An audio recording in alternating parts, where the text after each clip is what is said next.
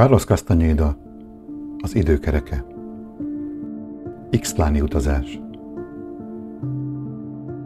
Amikor egy harcos elhatározza magát valamire, mindent meg kell tennie érte, de felelősséget kell vállalnia azért, amit csinál.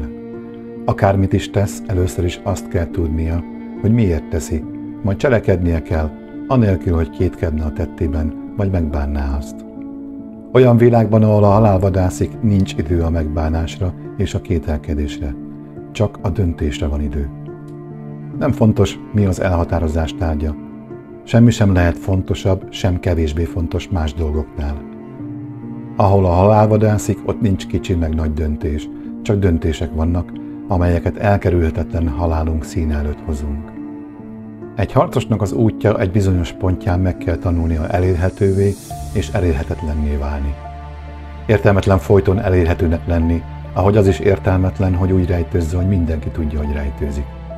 Egy harcos számára az elérhetetlenség azt jelenti, hogy finoman érinti a környező világot, aztán továbbáll. Tudatosan kerüli, hogy kimerítse magát és a többieket. Nem használja ki, nem facsarja ki az embereket, amíg össze nem fonnyadnak, különösen azokat, akiket szeret.